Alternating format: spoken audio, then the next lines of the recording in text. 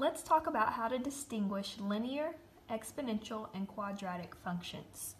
If you're looking at a graph, linear functions will always be a straight line. They can go in any direction. You just won't see a vertical line because then it won't be a function. Exponential graphs have this sliding shape where they start out increasing slowly and then that rate increases more and more. You can also see them headed in a negative direction if it's exponential decay. And then quadratic functions will always make the shape of a parabola. It can open up or it can open down. Be careful if you're only seeing a small piece of a graph because then it might look like a different type of function. Sometimes we have to zoom out to see the whole picture. Now let's think about what the equations will look like.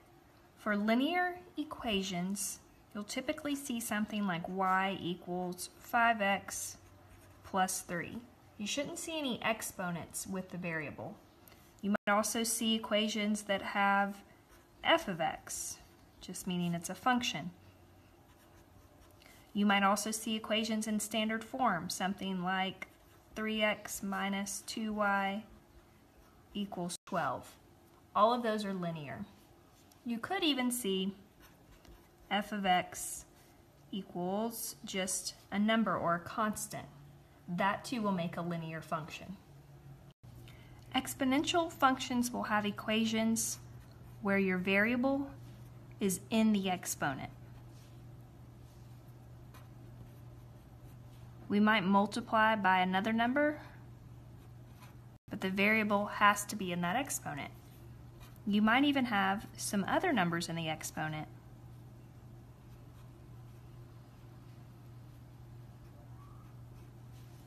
And you might even have a constant. But just look for that variable to be in the exponent and you know it's exponential. Quadratic functions have an exponent of 2. That's going to be your greatest exponent. So it could just be x squared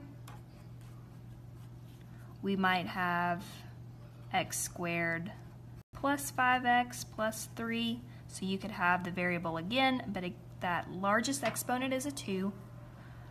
You might see it in a factored or a vertex form. But notice when you multiply that out, that x will get the 2 for an exponent, making it a quadratic. These are the types of equations that you might do in later math classes, but these are not linear, they're not quadratic, and they're not exponential. This one has a 3 for an exponent, so that's a cubic function, and we haven't really done those, and you probably won't do much of that in Algebra 1. If you see a variable under a square root, that too doesn't count as linear, quadratic, or exponential. And if you see a fraction or division by your variable, that won't be linear, quadratic, or exponential either. When you're looking at stories to identify what type of function they represent, look for some key phrases or think about how the relationship is between the variables. For linear relationships, you'll have a constant rate of change. For exponential, think of things like growth and decay. You're going to be multiplying by the variable over and over and over.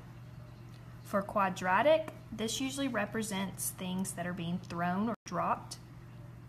It can also represent some relationships involving area. Be careful with percent problems. If it's a percent growth or decay, talking about uh, money growing or maybe a population, that's usually exponential. If you're just talking about percent of a number to find a discount or a markup and it's the same percent, then that might just be a linear relationship. Let's look at how to identify what type of relationship you have just looking at a table of values. First thing, take a look at your x values, and we like these to be counting by the same increment. So if they're all mixed up or missing numbers, you might want to rearrange to make you uh, see what's going on a little clearer. All right, now we're going to see what the change is in these y values. 7 to 4 is going down by 3. Down by 3. Down by 3. Over here, let's see what's happening. Going up by 1 every time. That means my rate of change is constant. It's constantly decreasing 3 for every 1, or a slope of negative 3 over 1. Whenever you have a linear relationship, you'll have a constant rate of change. Take a look at the exponential relationship here. Many times you can spot the pattern happening as you move down the table. Each time here we're multiplying by 2.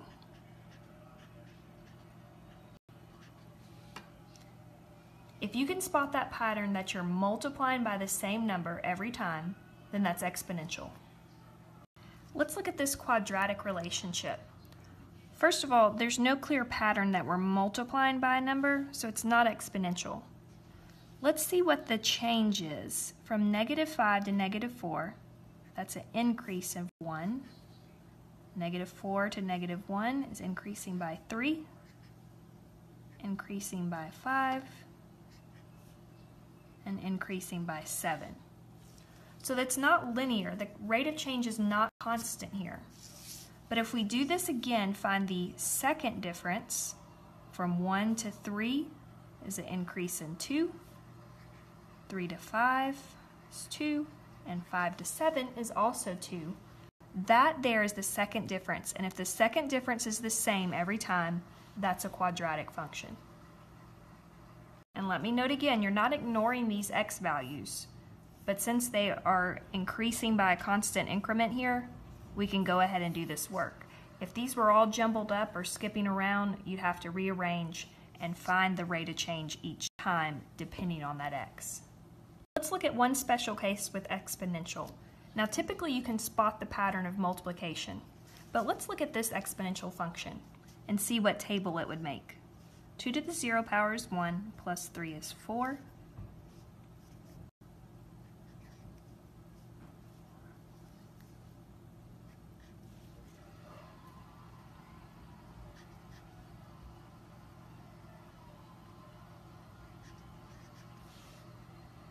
Okay, so I know it's exponential because I have the equation here.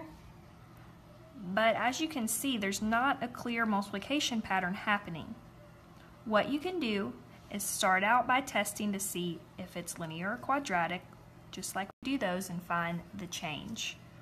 The change here is 1, 2, 4, and 8.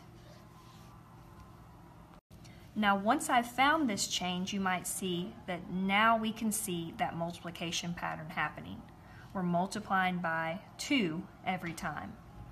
So if you start out by testing the methods we did before and you can't make anything work, then try finding the change first and then see if you see a multiplication pattern happening. That's exponential.